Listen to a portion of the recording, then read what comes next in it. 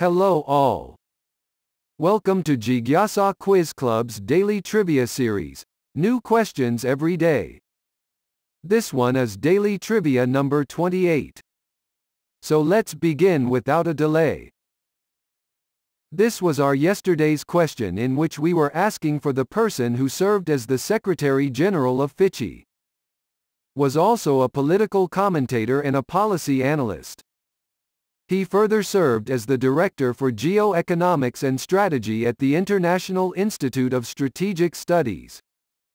Media advisor, and was also chief spokesperson to a renowned economist. Okay, so let's see the answer. The answer is Sanjay Baru who also wrote the controversial book. The Accidental Prime Minister.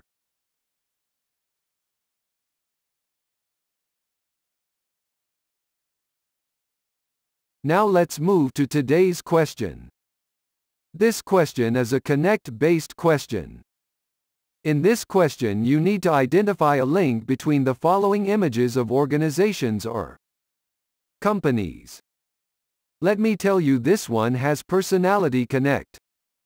Think of a famous person who is related to LEK firm, Times Group. A show of Mr. Bean and bicycles.